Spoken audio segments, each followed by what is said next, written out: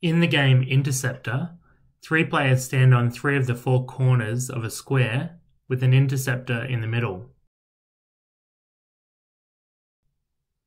Players can only pass to the corners of the square that are adjacent to them. Players without the disc can lead to a corner next to their own to receive a pass or provide an option.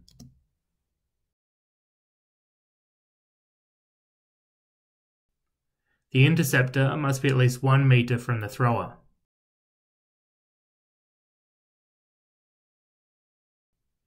Pause the game regularly to rotate positions.